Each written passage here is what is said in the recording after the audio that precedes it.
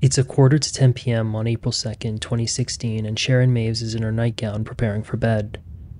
It was an unusually warm Saturday in Auburn, Washington, so Grandma Sharon, as she was affectionately called by the children at her daycare, pulls back the curtains and opens the window of her bedroom facing 340th Street to let a little bit of the night air flow in. As she's doing this, she observes the neighbor across the street pulling out of the driveway in a blue Kia.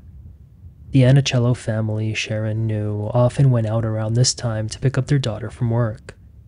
Sharon then turns around and heads to bed.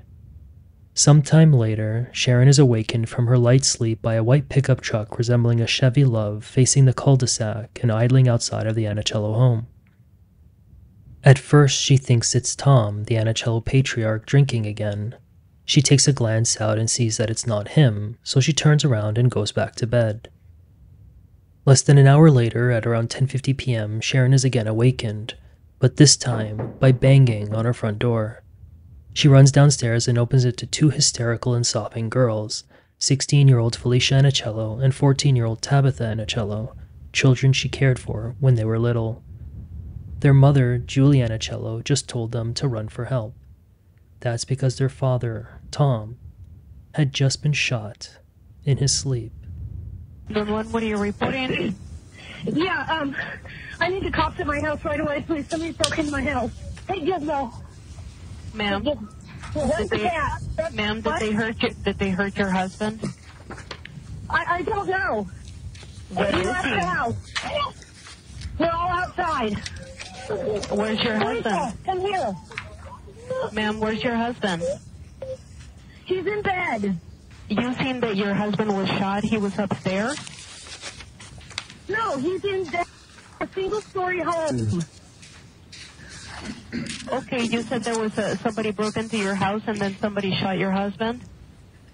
I think. I, we just, me and my girls just, Okay, and mm-hmm. what did you see that made you my think husband is bleeding your husband is bleeding where? in his face. Okay. He's in Okay, bed. We just came home. Okay, and did he say Yes. that somebody done this to him? He's not talking. Is he unconscious?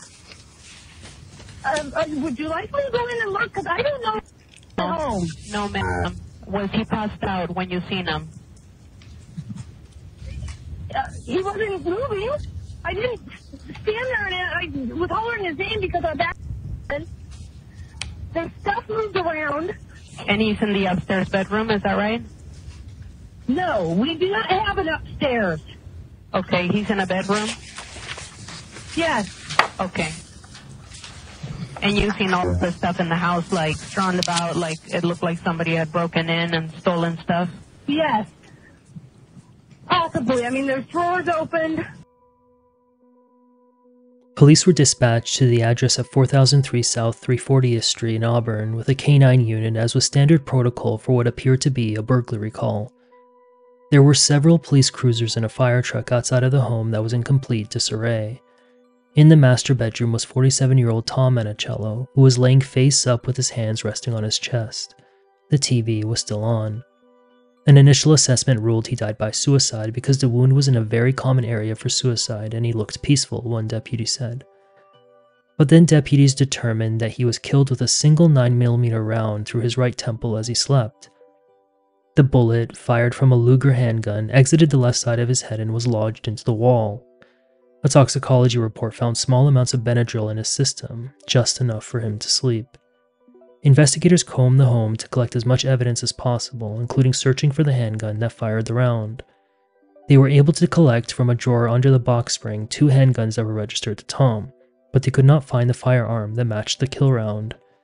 Otherwise, there was no forced entry, no broken windows, no smudges on doors or windows, and no pry marks. Veteran Detective Eleanor Brogy was the lead investigator on the case. The first order of business was figuring out what the day was like for the Ianniciello family. Julie volunteered those events. As is often the case with tragedies like this, this Ianniciello Saturday was relatively uneventful. Tom had gotten up at around 5 a.m. to go to work. When he returned, he spent the rest of the morning mowing the lawn before taking Felicia to look at cars. When they returned, he went to work on one of his daughter's cars as Felicia prepared for work at the Jimmy John's by the Auburn Mall. Meanwhile, Julie said she was doing chores around the home before leaving with her youngest daughter Tabitha to get some lunch from Taco Time. They returned to eat with the family. That evening, Felicia drove herself to her 5 to 9 p.m. shift at the Jimmy John's. By then, 27 year old Amber had already been at work at the Home Depot. Amber was Tom's biological daughter from a previous relationship, so she was Julie's stepdaughter and the stepsister of Tabitha's and Felicia's. The eldest daughter had only been living in the Ianniciello home for about a year when her father was killed. She was a bit of a black sheep in the family. She didn't have a key to the home, and there were strict rules on her, which emerged from past problems with partying and drugs. As such, while living in the Ianniciello home, she had a curfew, she wasn't allowed to party or take drugs, and she had to ask to sleep over at friends' houses, which is exactly what she did that Friday night. Amber also couldn't drive because her license was suspended, so her parents split duties on driving her to and from those sleepovers and work at the nearby Home Depot. And that's exactly what Grandma Sharon saw that night. Julie had gotten into the vehicle at around 9:55 p.m. with her daughters Tabitha and Felicia to pick up Amber, whose work shift ended at 10 p.m. Julie had asked Tabitha and Felicia if they wanted to go to Walmart after they picked up Amber, to which the girls agreed. Tom at this point was sleeping in his bed. Before the trio goes to the Home Depot, they stop by the home of Julie's father, Gene Shefflin. Julie said she had to give Gene some documents. They then leave and go to the Home Depot to pick up Amber at 10:27 p.m. The group of 4 then goes to Walmart and picks up some soap, gloves, sponges, juice, and two pairs of shorts. They check out at 10:40 p.m. As they are nearing home, the girls see a white pickup truck taking a sharp turn at a high rate of speed onto 340th 2nd from 40th Street. One of the girls remembers the passenger side wheels of the truck lift off the ground as it made the turn.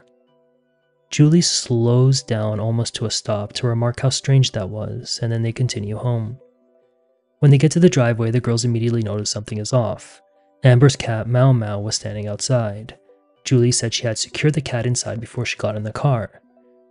When they get inside, they also notice that a drawer in the kitchen used by Tom to put miscellaneous things like his keys, cash, cigarettes, and lighter was open, with some items on top of the drawer. Moments later, Amber shouts for her mom to come to the den, which is where Amber slept on the floor. She points to the sliding glass door, which is open a few inches. Julie asks Amber if she left it open, and she says no. Sensing something is very off, Julie tells the kids to leave the home. That's when Amber asks, Where's Dad? Amber leads the way into the hallway as Julie hurries behind her. They step inside of Tom's bedroom, and almost as soon as they walk in, they are out. Julie shuts the door behind her and shouts at her daughters to run to Sharon's place as she was on the phone with dispatchers. As Amber is leaving the residence in a state of shock, she says she spots a shadow of someone, which is information she would relay to detectives. The canine dog had picked up a human smell from inside the home and took his handler to the trailer of a Terry Anderson, a neighbor of the Ianniciellos. Terry was known to the Ianniciellos, but not for the good reasons, according to some. Julie, Felicia, and Tabitha would later tell police that Tom had arguments with Terry about the company he kept, which allegedly included druggies and car prowlers, those people who steal from cars. One of those guys was a vagabond named Thomas Cooley, the canine tracked the scent to Thomas, who was sleeping in a sleeping bag under Terry's trailer. Thomas was well known to police because he had law enforcement called on him for squatting in various areas of Auburn. He was handcuffed and taken to the back of a cruiser near the Ianniciello home, where he was slumped over. He had a backpack with him, which he initially refused to allow police to search, but then he relented because he said he wanted to go to work later that morning. When police searched through the bag, however, they only found a change of clothes. There were no weapons or valuables suggesting he had robbed a place. He had no blood or injuries, and he was very relaxed. That would be the last time law enforcement would get cooperation from Thomas from this case. He was released, but they had his ID so they could track him. Detectives, meanwhile, looked more into Terry, who Tabitha believed had something to do with it. They heard from Julie about the several times when Tom and Terry got into arguments over where Terry parked his trailer so detectives went to Terry's workplace, called Ernie's Fuel Stop, and discovered that he was there on the night of Tom's death. He was quickly ruled out. Besides, there were times when Terry and Tom were actually friendly with each other, and it appeared those disputes were blips on the radar. As if things couldn't get more difficult, law enforcement was unsuccessful in picking up surveillance footage of the Ianniciello home. To make things more puzzling, All those interviewed on the night of the crime said they did not hear a gunshot, not the neighbors nor the Ianniciellos. Julie consented to a swab of her car, which picked up nothing no blood or gunshot residue, which sometimes lands on the hand when a gun is fired a short distance from the target. And investigators were still in for more bad news when examiners ran the prints of Thomas Cooley, who was their first detainee, against those lifted from the Ianniciello home. The results were a miss. The King County Sheriff's Office now had no murder weapon, scant evidence except for an unfired 9mm round found in Tom's gun holster, and some DNA swabs and fingerprints, which appeared to be just those of the Ianniciellos. Police put out a be on the lookout advisory for the white truck that fled the scene, but they didn't have a license plate for it. Cell tower dumps, which show phone numbers that have communicated with towers in the area, didn't generate any leads. In the early morning hours of April 3rd, Julie's parents took her and the kids to their house, where they would stay for the next seven months as the investigation dragged. Tom Ianniciello was described as a loving husband of 16 years to Julie and a wonderful father who was friendly and very talkative. In between the quotes and jokes on his Facebook page are photos of him, his wife, and daughters out in nature, on vacation, or at the casinos. He leaves behind messages of love for them and remarks how his job is flexible enough to let him spend that time with his family. That job was being the owner of Tommy's Produce, a produce distribution company in Kent, which he inherited from his father.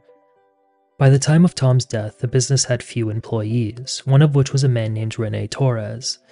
Rene had been working for about eight years there, from 2008 to 2016, he knew Julie, who was working at Tommy's Produce up to his death, and he was also good friends with Amber. The day after Tom's death on Sunday, detectives called Renee to come down to the Ianniciello home to speak with them. They were tipped off by Julie about some workplace conflicts that may have led to Tom's untimely passing.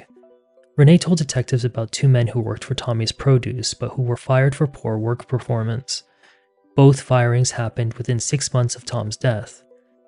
One conflict involving a salesman named James resulted in a heated verbal argument before the fired man stormed off and never came back. Despite the animosity, Renee said neither turned physical. In another instance, Tom ordered some apples from a supplier who couldn't deliver them on time. When the delivery guy named Scott came to drop them off, Tom told him to keep it. Scott threatened Tom with a lawsuit before storming off. Nothing physical happened there either, Renee said. Julie corroborated what Renee said about those workplace conflicts, but she went further. In Julie's version, James in fact returns to the shop and confronts Tom. When Tom tells him to leave, James takes a swing at him. Tom then punches James in self defense, after which police are called and James is escorted out. Julie said Tom declined to press charges. In Julie's version of the Apple story, Scott follows through and sues Tom. Julie also told detectives that she remembers a time when her husband's tires were slashed at work. Detectives followed up on those leads, but nothing came out of them. Tom's mom at one point also raised the possibility of a mafia connection in Tom's lineage, but detectives found that was a distant relative. Julie held out another crumb for detectives. She speculated that Amber, her stepdaughter, may have owed people money because of her alleged drug use. I know that, um, and I don't know if Amber owes people money, but I know she has a drug issue. What's her, what is her story. She's done meth for years. We put her through treatment when she was 17. She drinks. Um, in fact, she just sent me a text, I'm assuming was for her real mom the other day. Because it said, and Tom knew about this. Um, it had said, Mom, because I'm her stepmom it said, Mom, my cousin Jeff wants $60 of G and I want 40 I still have the text because he was going to confront her about it next week. When did you send her to treatment for meth? She was 17, so 10 years ago. Tom and I were trying to figure out what G was, and she um, you have any idea?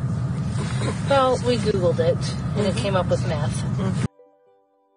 With information emerging about Amber that night, detectives searched the 27 year old's backpack and found no weapons, cash, or drugs, but did find some personal items and documents of dominion and control, perhaps related to Tom's business. Amber was to manage Tom's business in the event of his death, but she would relinquish control to Julie a couple of days later because she said she wasn't in the right state of mind to manage the business. Detectives knew after they had done a sweep of the messy Ianniciello home on the night of Tom's death that they would likely have to return, either to search it or to speak with family members. A follow up search of the home came on April 21, 2016. At the time, Julie was in between the house and her parents' place cleaning and collecting some items. That search yielded a garbage bag with clothes and three 9mm bullets that matched the fatal round. Otherwise, the investigation motored on for months. Tom's family had regular checkups with investigators, but it appeared they were not any closer to an arrest. Meanwhile, Julie was speaking to anyone who would give their ear to her. That included a local news station, which interviewed her on the two month anniversary of Tom's death on June 2, 2016 two months since a man was found shot to death inside his Auburn home. His wife is speaking exclusively to KOMO about the crime that still has police mystified. She says somebody knows something about her husband's death, and she's speaking out in hopes that the killer will be caught. KOMO's Keith Eldridge live at the family's home where Tom Ianniciello was found shot in his bed. Keith? Yeah, it was April 2nd. Tom Ianniciello's wife tells me that she and her daughters were away for a bit. They came home to find him dead in his bedroom. Now, they're not staying here right now, not with the killer still on the loose. Tom Ianniciello, a loving husband and father to three daughters. The 47 year old was the owner of Tommy's Produce, a fresh produce distribution company in the Kent Valley. He was killed inside his home on Auburn's West Hill two months ago. Medical examiner says he died from a gunshot wound to the head. Julie says she and her daughters had just been gone an hour. His oldest daughter and I went in and seen that there was, you know, blood on him and everything, so we ran out and called 911. Julie says the back door was open and jewelry and cash were missing, possibly an interrupted burglary. They remember seeing a small white pickup speeding away from their neighborhood. He came around the corner very squirrely, almost hit us. While detectives look at that, she also says they're looking at business rivals of Tom's, enemies he may have made along the way, and even the possibility there's a drug connection. And she revealed that she and her daughters are even being questioned. It did hurt when they asked me that. You know, I mean, I don't know why anybody would think I would do that to him. Julie says she agreed to talk with us to shake loose some leads. Yes, I would. I mean, somebody out there has to know something. Such as the mystery person who spray painted this Rest in Peace Tommy at the Produce Business Park. Now, that was very suspicious because that happened on the one month anniversary of the uh, death, and they say that uh, they were wondering if it was going to happen on the second anniversary of the month. That was today. It didn't happen. They really would like to talk to that person because that's not what Tom would want. They say he hated graffiti. So any leads they'd like phoned in to the King County Sheriff's Office. We're live in Auburn. Keith Eldridge. Come on in. Detectives were puzzled by the segment. That's because Julie, up to that point, never came forward and reported specific jewelry or cash that was stolen from the home. It's close to midnight on March 2nd, 2016, exactly one month before Tom's death, and Bradley Robinson is panicking. His wife Leslie is in the passenger seat, completely slumped over. She isn't responding. He turns up the radio and starts shouting her name. She comes to briefly, but then falls back into a state of unconsciousness.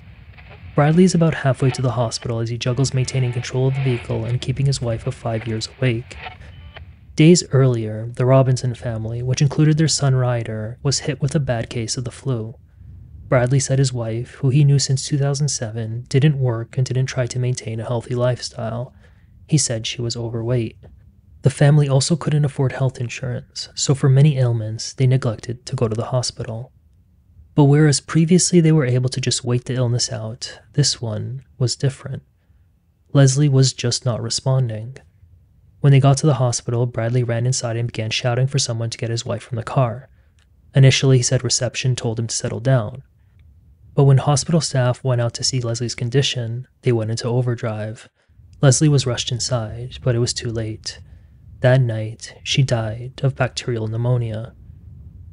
Bradley then called Danielle Tope, his manager at Seattle Gourmet Foods, and told her what happened and that he needed to take two weeks off. Bradley, who worked at the confections maker since 2008, was approved for that time off. Danielle already knew about Leslie's issues because Bradley came into work the day before and told her that he was worried because Leslie was very sick and panting. She told him to go home and take care of it. After Leslie's death, Danielle was sitting in her office when Julie Ianniciello came by. Julie was the receptionist at Seattle Gourmet Foods since 2014, a job she took over from Bradley when he eventually moved up to inventory. Danielle and Julie knew each other since middle school and high school and were Facebook friends, but they weren't really friends who hung out. They were reacquainted when Julie got this job. After hearing about Leslie's death, Julie walked up to Danielle's desk and, while in conversation about it, slammed her fist on it and said, How did he get so lucky? The comment stunned Danielle. She said she couldn't believe anyone would say that and then walked away. She never asked her why she said that. Perhaps it was because Danielle could put the pieces together herself. Julie, it turns out, was confiding in colleagues about her allegedly abusive marriage. Danielle said Julie talked about it just about daily and conveyed that she wanted to leave the marriage in late 2015 into early 2016. She complained to anyone who would listen at work that the relationship was marred by emotional, verbal, and, to a lesser extent, physical abuse, and that there was excessive drinking, drug use, and discussions of divorce with allegations thrown around about extramarital affairs. Julie accused Tom of having several affairs in their 16 years together. The couple had mini spats on Facebook where they hurled mean comments at each other. Julie alleged Tom had accused her of having sexual relations with men and women at work. She alleged that he would come home drunk on Mondays and Thursdays, yell at her, and demand she make him dinner at 2 a.m. In one event in February 2015, it was alleged that a drunk Tom pinned Julie to the couch while holding a gun to her head. The incident was not reported to police. Julie told a work colleague that he would get so upset while drunk that she would slip cold medicine in his drink to make him go to sleep. Julie told a detective in her initial interview that she didn't have a substance abuse issue, adding she only took one Vicodin a day, which she got from a man named Jim. Danielle was a divorcee herself, so she provided her divorce attorney's contact information and clued her in on the fact that Washington is still a community property state, which means the assets in a dissolution of marriage would be split down the middle. But after Julie gave him an ultimatum, Tom sobered up and would maintain that all the way up to his death. Tom apparently realized what drinking turned him into, and he decided to turn over that page of his life. An analysis of Facebook posts paints a portrait of a man unlike that of an abusive father and husband, Instead, it shows an affectionate side with a deep love for family. Carrie Lynn, Tom's sister in law, would say that within his year of sobriety, he was treating others with such kindness, he was sappy, and it was like he was trying to make up for the sins of the past. But if their relationship was on the mend, it wouldn't last very long. On March 24th, 2016, just a little over a week before Tom's death, Julie told Danielle that she couldn't do it anymore the relationship had taken a toll on her well being, and she was planning to buy a fifth wheel trailer and hitching it on her parents' property to live there. She said she was afraid of what Tom would do if she went through with a divorce, and she wanted to ensure her children weren't caught in the crossfire. Julie, who described Tom as controlling, told colleagues a week before his death that he was forcing her to quit her job at Seattle Gourmet Foods and to come work for him at Tommy's Produce. She told him she would quit, then she made plans to take a vacation week from Seattle Gourmet to figure things out. 2018 was an outlier for the King County Sheriff's Office. It was a record year for homicide investigations, which meant detectives were working multiple cases at once. Detective Mike Glasgow testified to how busy the office was. In late 2017, he took over as lead investigator of the Ianniciello case from Detective Brogy, who was moving on with her career. Such a handover requires a review of all the material gathered by the team, and there was a lot in the Ianniciello case. But there was, of course, no smoking gun, figuratively and literally. The firearm used to kill Tom was never found, and evidence linking any sort of suspect was scarce. It was increasingly looking like if the case was going to be solved, it would be on the strength of circumstantial evidence. Detective Brogy relied a lot on Detective Glasgow in the Ianniciello case for digital forensics, in which he was an expert. After he reviewed all the evidence in the case, Detective Glasgow reached out to Julie in January 2019, nearly three years after Tom's death. The detective wanted to introduce himself to Julie, tell her that there was turnover at the helm in the investigation, and to share with her his contact information. Julie never reached out to inquire about progress in the investigation, so she was likely not wise to what was happening with personnel. Detective Hawkins, who was also working the case from the beginning, joined Detective Glasgow for the visit. Julie, who by then had moved back into the home where Tom died, welcomed the men inside. Her demeanor was described as very friendly. While Detective Hawkins spoke separately with Tabitha, Detective Glasgow followed Julie around as she pointed to various things in the home as she recounted what she saw on the night of Tom's death. She pointed to Tom's drawer in the kitchen where Tom's memorial service pamphlet was magnetically held on the refrigerator. She moved toward the back sliding glass door, which was open when they returned that night, and then into the bedroom where Tom lay. At some point, Tabitha left the home, so both detectives had a chance to sit in the living room with Julie, who was holding a napkin. Julie was very matter of fact about her recollection of events, stating that her relationship with Tom was getting stronger in the days leading up to his death. But then detectives noticed a sudden change in her demeanor when she spoke of one Bradley Robinson, who she said they should probably speak to. Detective Glasgow noticed her eyes turning red and welling up with tears as she aggressively fidgeted with a napkin as she spoke about her former coworker at Seattle Gourmet Foods. But the name Bradley Robinson was not new to the detectives. In fact, they had known about him since the beginning of the investigation. That's in part because Amber, who was a mediator when Tom and Julie fought, told them about him. It's late March 2016, and Tom and Amber are sitting quietly in his truck. He had just picked her up from the Home Depot and decided there was no rush to get back home.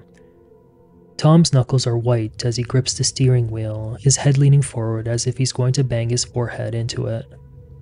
Amber, I need to tell you something, Tom started. Earlier that month, on the afternoon of March 2nd, 2016, Tom had been driving around Julie's workplace when he spotted the family's Dodge Durango parked near an abandoned building next to the Seattle Gourmet Foods. Puzzled, he pulled up nearby and stepped out. He approached, squinted, and saw Julie and a man in the back seat. Tom started to shout at Julie. The man zipped his pants and got out. Julie tried to assure Tom that it wasn't what he thought, that she was just buying Vicodin from him. Tom briefly directed his attention to the man, who told him his name was Jim.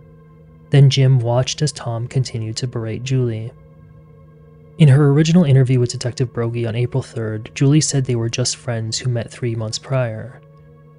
Julie continued her story that Jim was her Vicodin dealer. Tom then gave her an ultimatum quit her job at Seattle Gourmet Foods and come work for him at Tommy's Produce or else. The alternative wasn't clear. In any event, she agreed. Julie started work at Tommy's Produce in the last week of March. Tom was thrilled about it, but Julie apparently wasn't, according to Renee. The three were working in the same office, with Julie doing clerical work, filing paperwork, making phone calls, and taking orders. Renee noted that Julie was sad and upset about being there, Renee said Tom had tried his best to improve his marriage and confided in Renee about his efforts every day to improve the relationship. Having Julie working close to him was a step in that direction for Tom. In the weeks since the Durango affair, Julie advised Tom that she had to be at work until March 29th because she had to fill in for the office manager, who was going on vacation, which was true. Despite Julie's apparent sadness to Renee, it really appeared like things between Tom and Julie had improved. On Friday, April 1st, one day before Tom's death, Julie uploaded a photo of her and Tom together. Julie had her wedding ring on. Well, life hasn't been good. Can you can you fill me in more on that? Are, are you guys still are you guys still not getting along? We were getting along better. I mean, we, we've been working on our marriage, yes. Okay. Um. All right. Anything more notable than that, or just you know, it was getting better. It was getting, it was getting better, yeah. Okay. We had decided, because we were going to split up, and we decided we're going to work on our marriage and stay together. But prosecutors would say the photo, which colleagues said was very unusual, was an attempt by Julie to belie the reality of the situation and to throw off the investigation. Interviews with family members and colleagues would quickly bring into the investigative fold the man named Bradley Robinson, who also went by his fake name Jim. Yes, Vicodin Jim. He was interviewed for many hours early in the investigation, and despite being accused of being involved, he denied being anywhere near the scene, which was corroborated by cell tower data. But he was honest about what had been going on behind the scenes. He even took detectives to a site near their workplace where he and Julie put a bag of love notes to each other, which date back to at least June 2015. The electronic communication started with the creation of two Yahoo email accounts, the exchanges from which were seized by investigators after getting a subpoena from Yahoo. The two used email for a significant part of their communications because Bradley couldn't afford a phone, though he would later get one after getting money from his wife's death. In the meantime, he used his Xbox at home and his work computer to type out communications. It turned out that, like Julie's experience with Tom, Bradley had a similarly bad experience with his late wife Leslie. He said Leslie had mental health problems, including bipolar disorder. He said she would be mad and in pain all the time. The couple had started sleeping in separate rooms beginning around 2014, he noted. The only thing that kept him from divorcing her, he said, was not being able to see his son Ryder. So he kept on keeping on until her death. Julie shared with Bradley that Tom once allegedly told her that if she divorces him, she won't get the house. That would only happen in the event of his death, she alleged he said. And so it was against this backdrop that Julie made the seemingly offhand remark about Bradley being lucky to lose his wife. Julie was well aware that Bradley and his wife were sick in late February. He emailed her on the 29th saying, Leslie's getting worse, she can barely breathe. The morning after her passing at 7:46 a.m. on March 3rd, he emailed her again and said, "Leslie never recovered from the flu." The relationship was in friend zone territory at first. They met while walking on a trail at lunch and then started their email communications that February. But they quickly bonded over their messy home lives, which brought them close. And in the context of two people who are already married, close is already close enough. They were soon getting caught by the supervisor alone in areas of the warehouse they had no business being in. The relationship, in other words, became sexual. On March 5th, 2016, just three days after Leslie's passing and the Durango affair, Julie emails Bradley Love of mine, I know we are almost there, but we still have to take it slow out in public. You will still have to mourn her, she said, referring to Leslie. I hope that makes sense. How long will her mom be here? Is she going to stay with you? I love you. That last bit is important, so here's the context. On a couple of occasions, Julie went to Bradley's home to engage in sex. Bradley replies, My love, yes, take it really slow, very slow. But still, wow, we are closer than ever before. And when I can see time is more free, but nothing public for a while, I love you. But an affair is not illegal. And remember, this is a circumstantial case, so investigators and prosecutors needed to tie up those loose ends to show that it was Julie who killed her husband that night. They pointed to the pressure of the moment, which was apparent in the emails. In a nearly two hour closing statement, senior prosecuting attorney Mary Barbosa showed through the trove of emails an increasingly frantic Julie, as she felt she was losing her grip on Bradley the longer she couldn't get away from Tom. Perhaps fearful that she will have to permanently fall back in a marriage she desperately wanted out of. March 22, 2016, Julie writes to Bradley I'm sorry if I have done anything to bring you down. Please remember no matter what I say or where I go with him, I say or go to keep me safe. I do not love him, and I just want to be with you. My feeling for you have not changed. Well, actually, they have. I love you more than I ever have, and I just want to be with you. You're the one that I want in my life. I love you so much. Less than an hour later, she continues I also know that you are probably on a very emotional roller coaster. I also know that I wish I would have never stayed last year when I had the perfect chance to get out. I love you so much, it hurts to not be able to be with you. I love you so much. March 24th, she writes Well, let the phone calls begin. He has called and hung up once, and then called back with an attitude. You know the weird part about it? It really doesn't bother me when he is treating me like crap. I have no reaction to it. I love you, and as long as you love me, I will be happy. Wow, I think this is actually going to happen.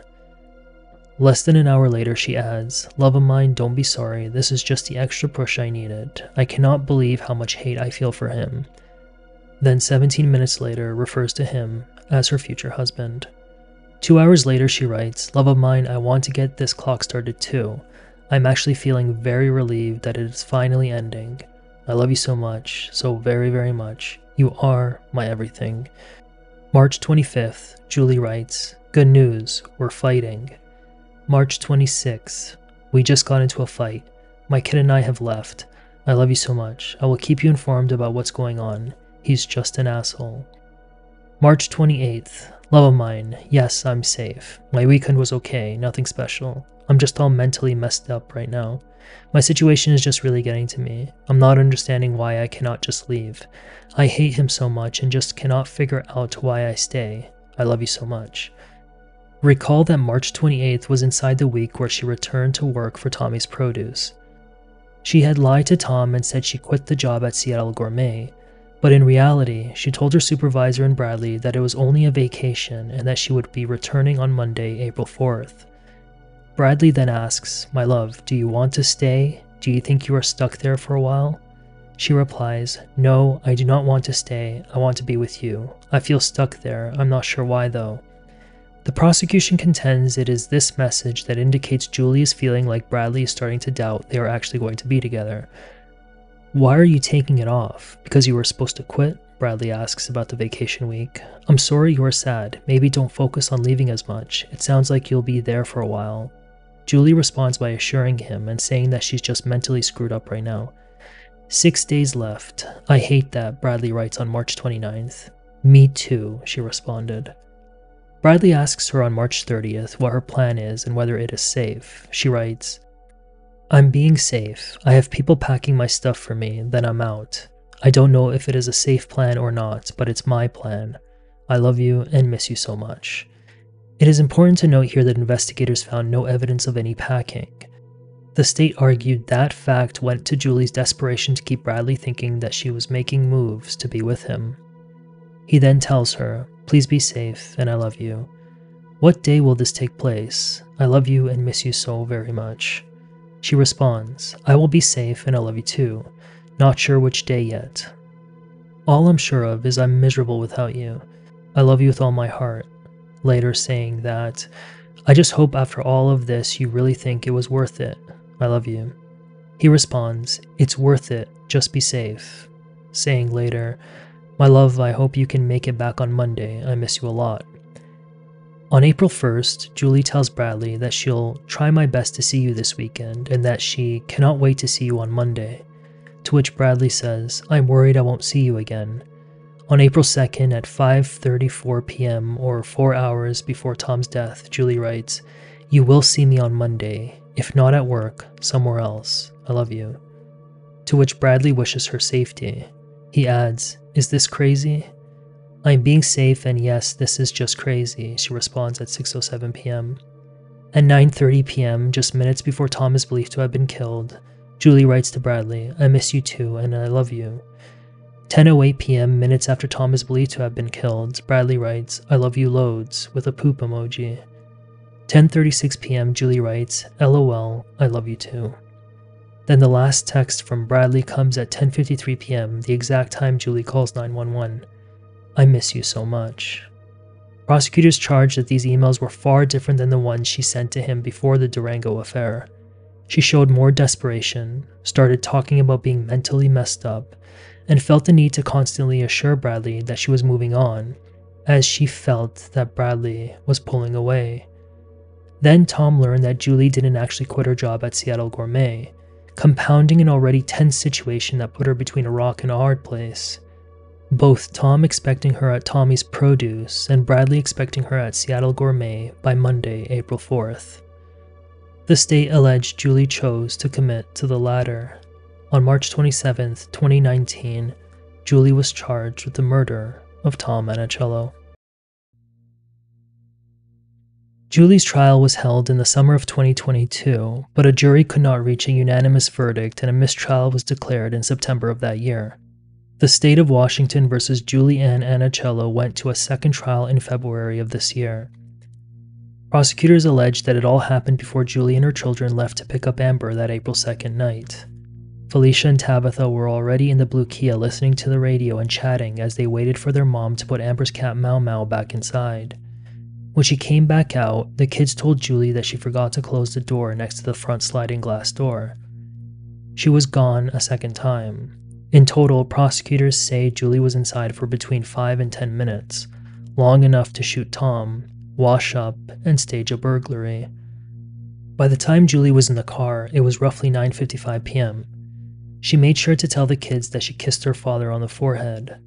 Had she driven straight to Home Depot, she would have been able to pick up Amber on time. Instead, she dragged out the trip by first unnecessarily stopping by her parents' place and then nearly half an hour later picking up Amber. Then, when they were returning home, she unnecessarily took the longer route back. Before and after the incident, prosecutors charged, Julie was attempting to manipulate people and get the heat off of her. The cheery Facebook photo of her wearing her wedding ring and standing next to Tom the day before his murder was intended to lead people to believe she didn't have a motive to kill him, the state said. She never posted photos with him on her Facebook page, and she hadn't been wearing her wedding ring at work, colleagues alleged. Her telling people around her, including detectives, that her relationship with Tom was strengthening in his final week was a form of manipulation, the state added. Same with her telling him that her affair with Bradley was ending. The day before, she allegedly told Amber, I don't love your father anymore. Then on the morning of the murder, the dichotomy in how she communicated with Tom and Bradley was cutting. At 7:11 a.m., Tom texts Julie, "Good morning, my love." At 9:12 a.m., Julie emails Brad, "I miss you too," and then she adds, "Love of mine, I'm going to be safe. I promise I love you." At 9:36 a.m., she finally responds to Tom with a simple, "Morning." At 10:28 a.m., she writes to Bradley, "Love of mine, did you get a good night's sleep last night? I did. Finally, first night in weeks I've slept really good." Julie's case wasn't helped by the fact that she lied a lot throughout. She alleged that Tom forced her to Google what happens if I die without a will? What do my children get if there's no will? And what happens to a business if there is no will? She tried to say that Tom had a cousin who passed away, which was true. The problem was that Darren didn't have a business. The state also argued that she tried to prevent people from saying anything to authorities. For example, during one of her initial interviews with the detective that night, she shouts at Amber not to call her grandparents. Here's another example. After the shooting, while she was at Walmart, she ran into Bradley, who was there to get a toy for Ryder. Julie whipped out an envelope full of cash and gave him $20. When he asked her where she got that from, she told him not to tell anyone about it. The state said she feared it would be used against her as a motive in the crime. The state also argued that no one in the neighborhood heard the Ianniciello dogs bark, and they were known to bark at everything, suggesting there was no intruder. As for why no one heard the gunshot, prosecutors brought forward witness testimony that said while a 9mm round being fired is loud, the sound waves would have had to penetrate multiple walls, which reduces the decibels. If the gunshot was heard at all, which isn't necessarily always the case, it wouldn't have necessarily been distinguishable from ambient or other sounds, the witness testified. The defense did not try to argue self defense or battered wife syndrome. Instead, it went with the general denial defense, the overarching argument is that investigators got tunnel vision when they discovered the affair with Bradley. It pointed to an incomplete follow through on Thomas Cooley, the vagabond who was found sleeping under the neighbor's trailer. In late 2023, detectives tried to get Thomas's major prints, which is a more fulsome impression of his hand, to completely rule him out, but he was uncooperative when he heard what the case was about. The defense also argued, among other points, that there was no evidence found in the Kia, that Julie was fully cooperative, that no witness testimony ever came forward that Julie handled guns, and that the emails didn't indicate that the two were actually serious about being together. Instead, the defense argued, the online communications were just a momentary escape from the lives with which they weren't satisfied. The jury disagreed. On February 9, 2024, Juliana Ianniciello was found guilty of murder in the first degree, with enhancements including her use of a firearm and domestic violence. Julie is scheduled to be sentenced on April 22, 2024. The state is asking for at least 28 years, which is the middle of the standard range for the state of between 25 and nearly 32 years. The state offered two mitigating factors in Julie's favor that she has no previous felonies, and that she was reportedly the subject of some domestic violence in the volatile relationship she ended with murder. Julie's family members, including her daughters, have sent letters to the court supporting the mother they said would never kill. They had previously pleaded to have her bond reduced from the $5 million it was set at because they simply couldn't manage the day to day without her, including running the business, which eventually shuttered without Julie's assistance.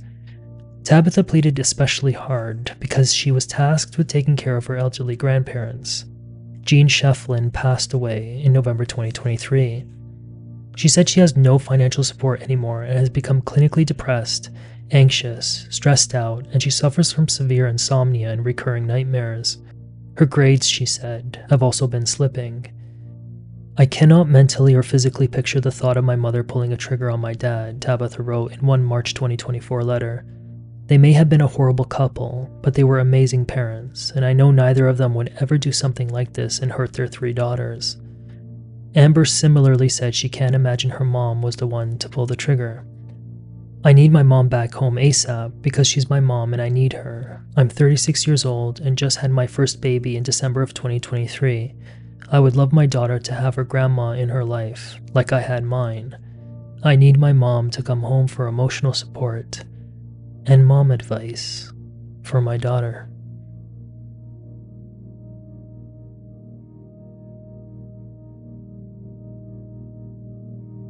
Thank you so much for taking the time out of your day to listen to me narrate this story, which is based on the primary sources. Special mention must go to the local reporters who bring light to these cases, to the court clerks for doing their thing, and to you guys for offering your perspective on the subject matter. I hope you all are well, you are doing nice things for strangers, and I'll see you next time. Goodbye.